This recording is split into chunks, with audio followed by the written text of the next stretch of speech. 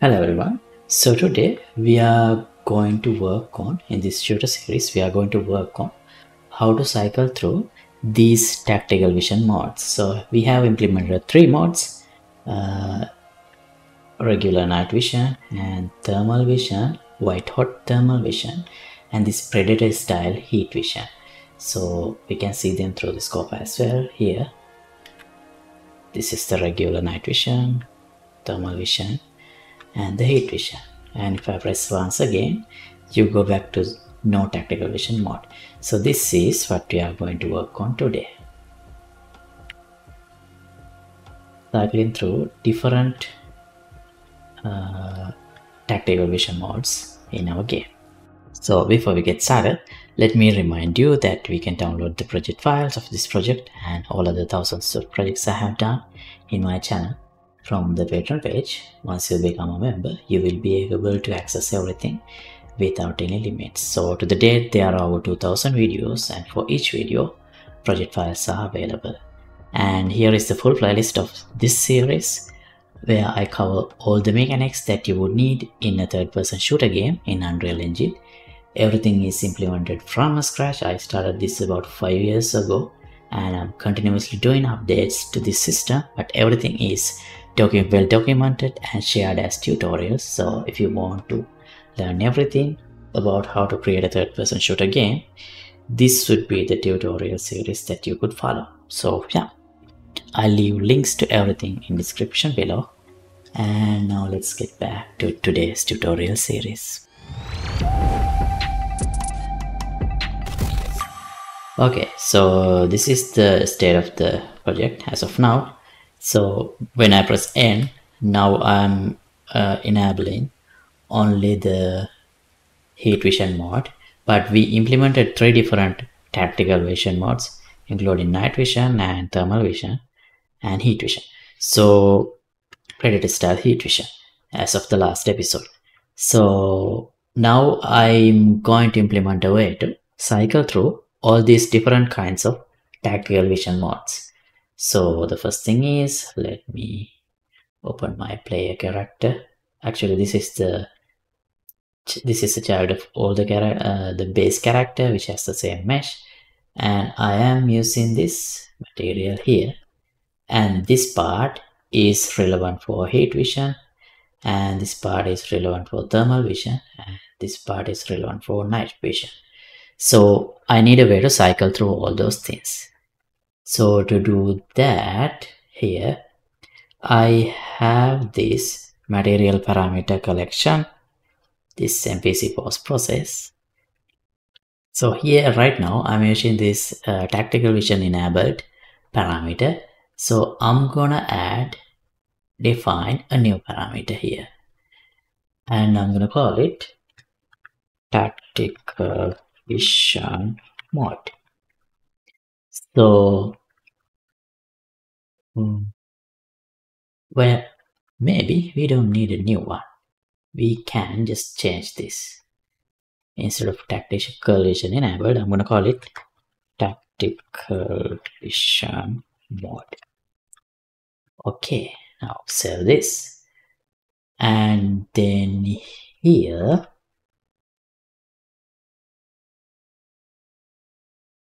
I already have this tactical vision enabled. So I'm going to select tactician, tactical vision mode like this. And then we can define a switch parameter. And here as the inputs, I already have the default one. Uh, as the switch value, I'm going to put tactical vision mode. So as for switch, these inputs, first one is none. Let me add another one the alcoholic night vision.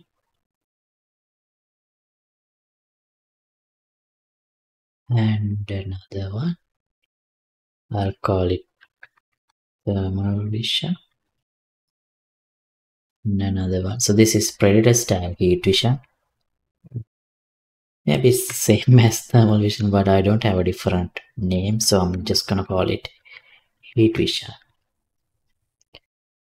okay and For the night vision mode, this is I would need. Gonna need a multiplier here. This is the emission for the night vision mode. So this goes to the night vision. So for the default mode, I'll define a constant zero for the none and for default when we don't have a specific uh, tactical vision mode enabled we should not have any emission so that's why I defined zero.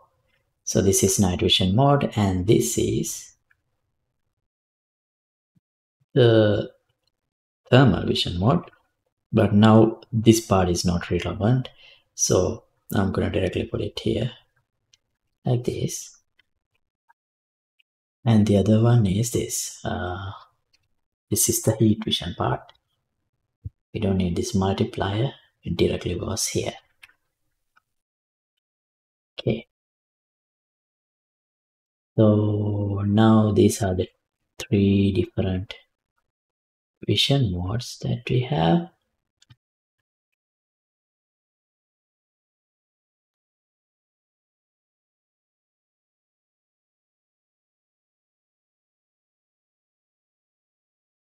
okay this should go into emissive color. Alright. Now depending on the value I put for the night tactical vision mode one of these inputs will be selected as the emissive color. So we can support multiple different uh, tactical vision modes but this is just the character material part. Now let's do the actual post-process material assignment. Okay now here I'm gonna rename this current tactical vision material. And I'm gonna add a new one uh, tactical vision. Materials. This should be from the type material interface this should be an array because we are going to support multiple different uh, tactical vision modes. So I'll add we have three modes night vision and vision and heat vision okay now I'm gonna cycle through this array and assign one material at a time. So if I, when I press N I will assign the first one. When I press N again I will assign the next one. When I press N again the next one. And at the end I will go to the regular no tactical mode. Uh, so just like that I will cycle through different vision modes. Okay. So I'll add another material. I'll call it tactical vision mode. It should be an integer just an integer. This is to say what is the current tactical vision mode that I'm using? Maybe instead of saying current I'll say next tactical vision mode because this would point to the next tactical vision material that we are going to use. All right now this part is to get the post process volume. So i'll collapse this get pp volume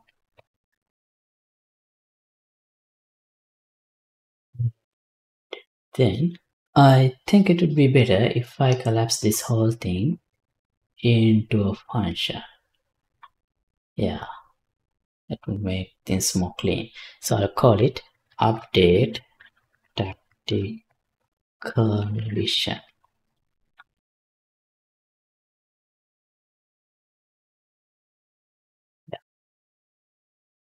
Okay, so the first step is make sure that we have valid reference to the post-process volume. And the next part would be removing the current tactical vision material from the post-process materials array of the post-process volume. So I already do that here. So we can actually copy that part. And here, let's do it like this. Current tactical vision material. If I do have a valid reference here, that means I have a current tactical vision mode enabled. So if this is not valid, we can jump to the next step. Not a return node, just a reroute node. And here, this is what I have to do. From the current post process volume,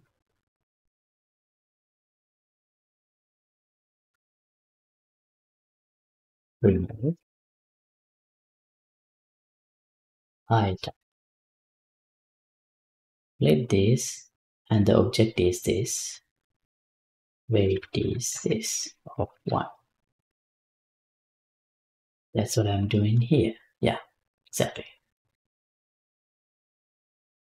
Uh, continue to the next part. So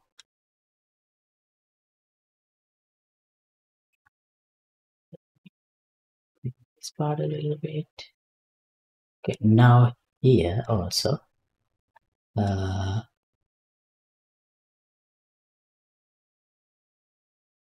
let me collapse this part so that we know what's going on here. I'll collapse this and call it remove current tactical vision. Okay. Well and then uh, once I remove it we can actually clean reference that we have. So set current tactical vision material to null to clean it out. Okay. Now the next step is applying the next tactical vision mode material. So for that what I can do is here get the tactical vision materials and check is valid index. Check if this next tactical vision mode index is a valid index. If this is true then we can get that and assign it. Otherwise that means we have cycled through all the tactical vision modes. So i'm gonna set next tactical vision mode to zero and not assign anything. So right now here this is what we're gonna do. Get this material and create dynamic material instance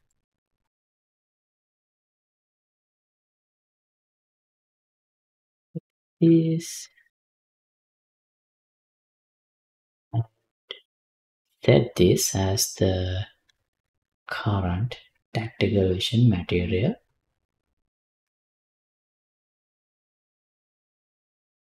And assign this. So assignment happens like this add unique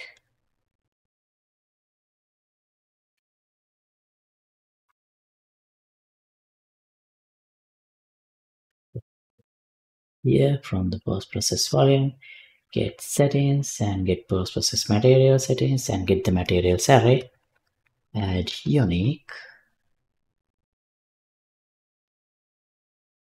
Here split this. Weight should be 1 because we need to enable this post process effect. And object is this current tactical vision material. Uh, we don't really need to do any connect here and then we need to set the tactical vision mode. So i'm going to increment this. Integer. And then set this value as this uh, set scalar parameter value tactical vision mode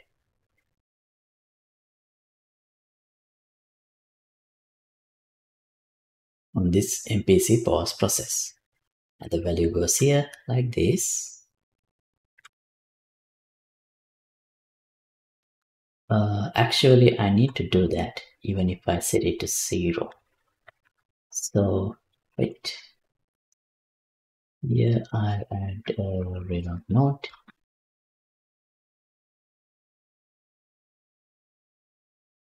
Instead of using this way,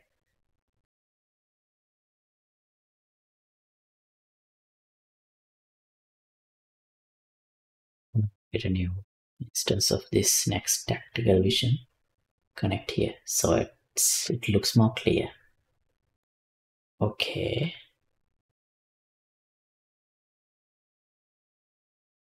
Right now this part is uh, actually I don't think we need to clean this. So here what we are doing is creating the next uh, material instance dynamic material instance for the next tactical vision mod and add it to the post process materials. And yeah that's it i think. Okay and time to test. So let's see.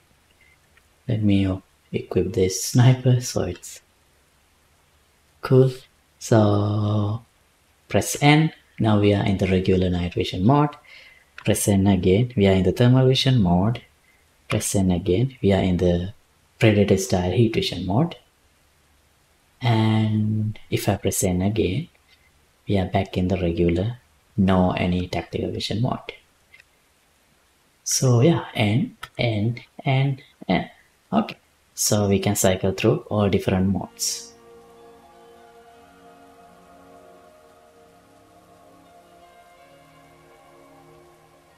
Okay great so that's all I wanna do in this episode. So yeah, thanks for watching. As always, updated project files will be available for download here in the Patreon page. Link would be in the description below. And let me know if you have any questions in the comments. See you in another episode. Goodbye.